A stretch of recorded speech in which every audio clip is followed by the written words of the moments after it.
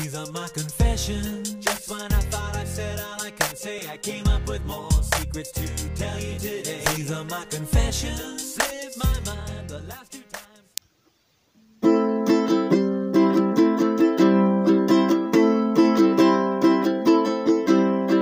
I need an easy friend, I do, with an to lend, I do. Think you fit this shoe, I do, but you have a clue.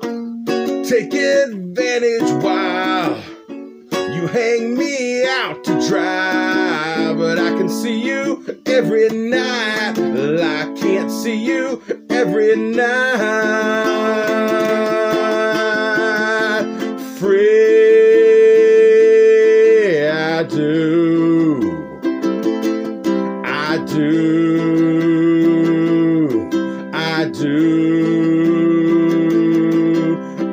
I do. A puddle of mud. That's how you do it right. Hello, everybody, and welcome to Four Strings and the Truth, the place where you come to for good ukulele playing, decent vocalizing, and today a confession. Yes, that's right. I, Damon Brazzell of Four Strings and the Truth, have a confession to make. It's a confession that might get me some hate from some quarters. I might lose some friends over this. I might disappoint some people, but I've just got to say it. I, Damon Brazzell of Four Strings and the Truth, am not a huge Nirvana fan.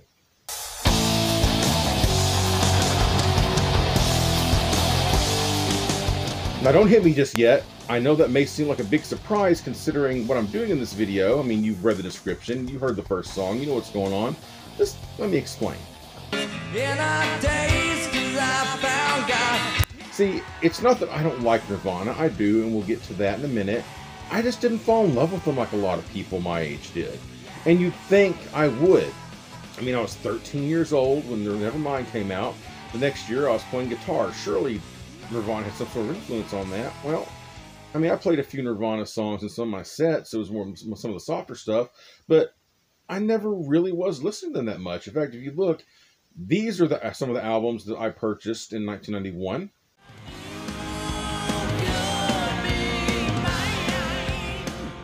These are some of the albums I purchased in 1992.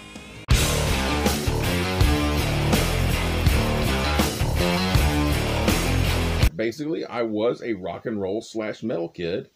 I did get into punk a few years later, listening to stuff like the Sex Pistols and the Ramones, but that was more of the 70s punk. And yes, I did have a Green Day phase.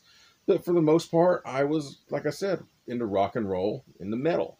You know, I wanted flashy guitar solos. I wanted, you know, killer riffs. The music I was listening to at the time, Nirvana pretty much destroyed or at least knocked out of the mainstream, almost single handedly with the help of these two dapper gentlemen here.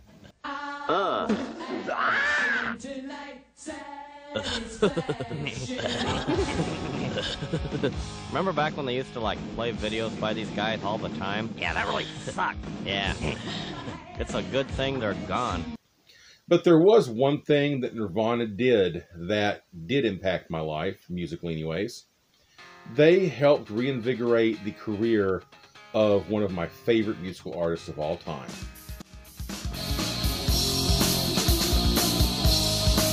Now I'm mumbling and I'm screaming and I don't know what I'm singing. That's right, Weird Al Yankovic. He is a master of his craft, one of the greatest artists of all time, and I will die on that hill. And the thing is, around 1991, he was kind of licking his wounds from the critical and commercial failure that was his film UHF, and the soundtrack didn't do that well either. I'm a miserable, worthless hunk of slime. I want you to take this crowbar and just bash my head right in. Go ahead, really, please. Just, just bash it right in. Of course, like most films that were critical and commercial failures before the age of the internet, this movie developed a cult following and is now considered a cult classic. Much like a movie I talked about last week. We are the three.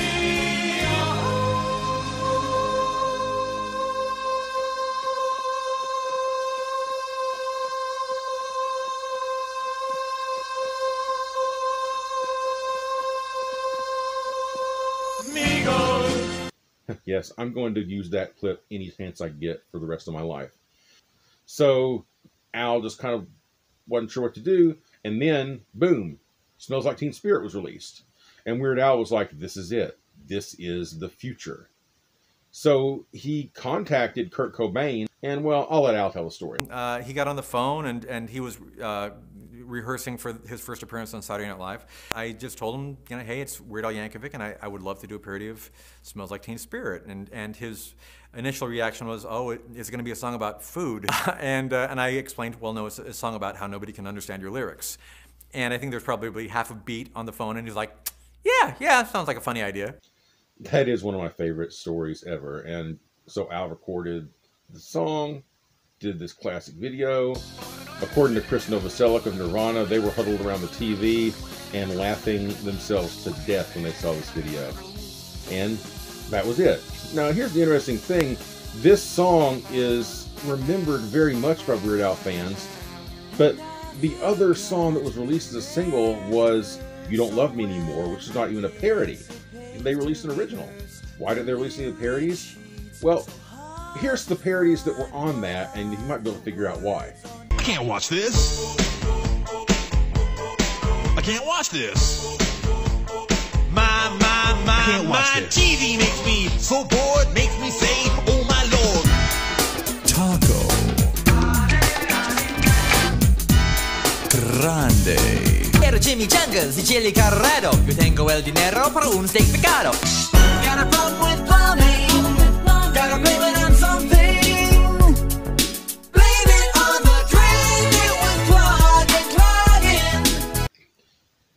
Yeah, the thing is, by the time this album was released in 92, those bands were pretty much on their way out. I mean, MC Hammer was kind of fading. Gerardo was pretty much a joke. And, well, by the time the album had come out, Milli Vanilli had already given back their Grammy because they had lip synced. So we give this Grammy back now? So, yeah, those songs you're not going to hear Weird Al perform. But since this song was released in 1992, it's become a staple of his shows. I've seen Weird Al five times between the years 1999, maybe 2000, and about 2015, 2016, and this song's always a staple of his show. Always gets a great response.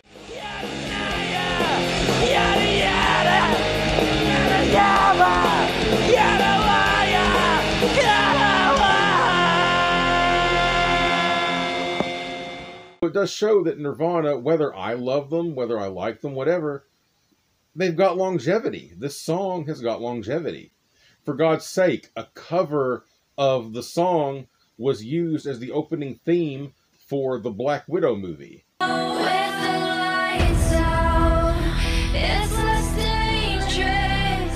Here we are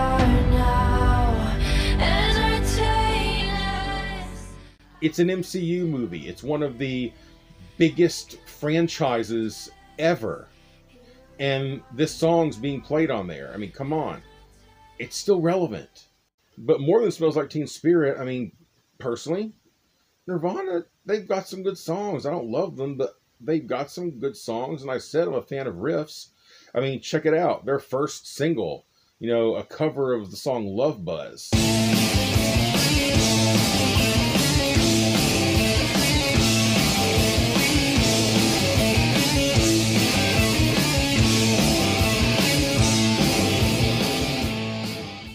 Riff is great. You know, Come As You Are, probably one of the top 10 greatest riffs ever. So recognizable, so easy, yet so catchy.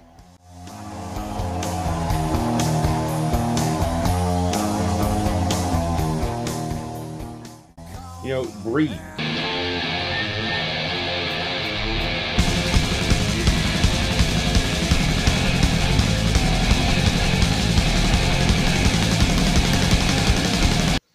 However, my favorite thing they ever did, unfortunately, was recorded very close to the end of Kurt Cobain's life. The album was not released till after he died, and that was, of course, their historic performance in MTV Unplugged. I think Nirvana's was the best because Kurt said there's no way we were going to do Smells Like Teen Spirit, no way we were going to do Breed.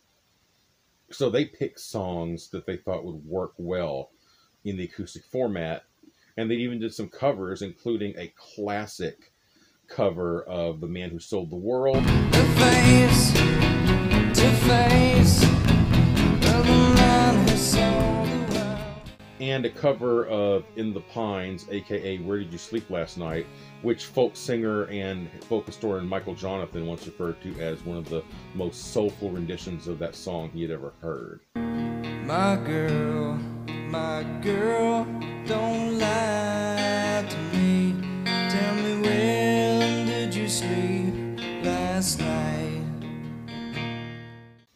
The original version was by Lead Belly, so yes, way, way back.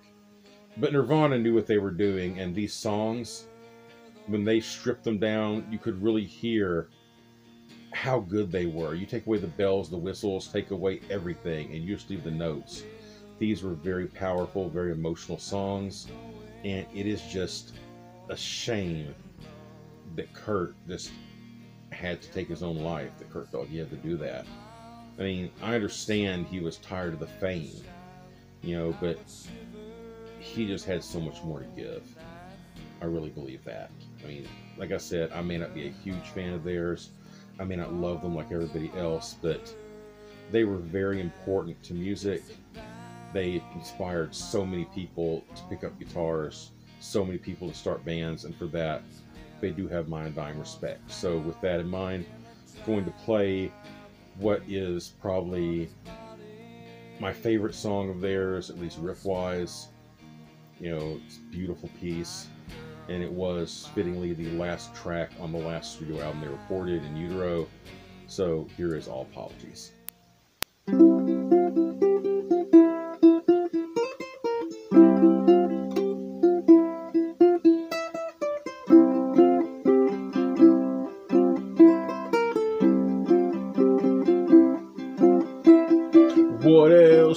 I be?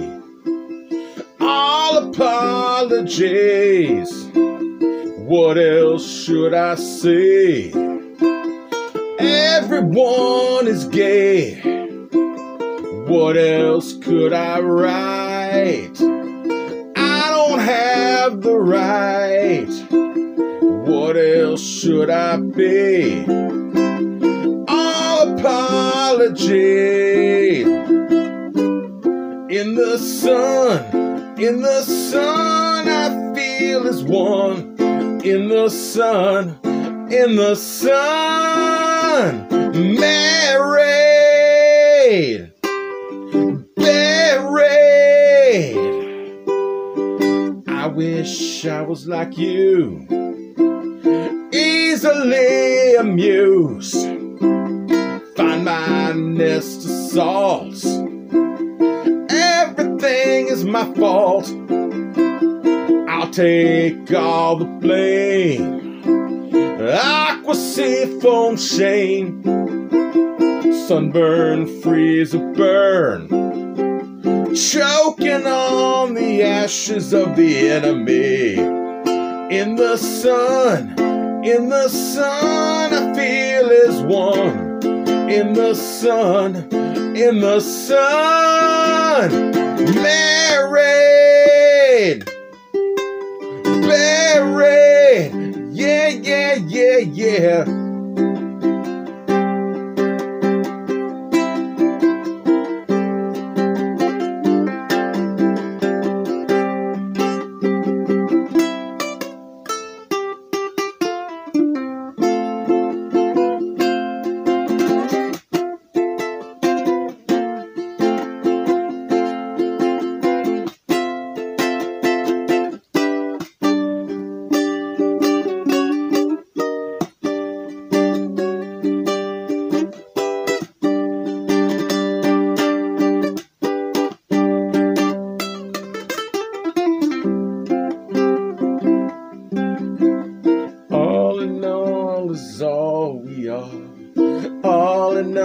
All is all we are. All in all is all we are. All in all is all we are. All in all is all we are.